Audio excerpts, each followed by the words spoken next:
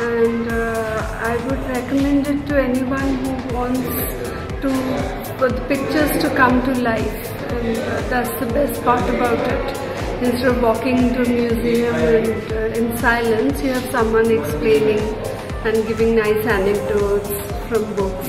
So under that tree. So when I sit here, I don't get anything